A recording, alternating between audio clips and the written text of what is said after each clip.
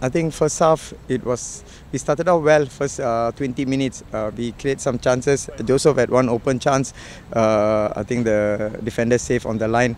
Uh, and uh, after the 20 minutes we slowed down a bit. Uh, Hougang came at us. We they created some chances. Hougang, but I think our boys were very disciplined, defended very well the first half. That's why I wanted. I told the boys uh, we must keep the score 0-0. Don't concede goals. Then second half I told them need to be more focused because they are experienced team. I don't have uh, I don't want the same thing that happened against uh, Home United. So second half I think the boys were very disciplined. They defended very well. Uh, one versus one defend defending was very good. And I made three substitution that made the changes in the game. The the players performed performed well, especially in the second half. Um, we didn't uh, keep possession well enough in the first half. Um, they addressed that in the second half. They they came out and they gave their absolute everything. They gave their absolute all. Um, couldn't have asked for any more in terms of effort.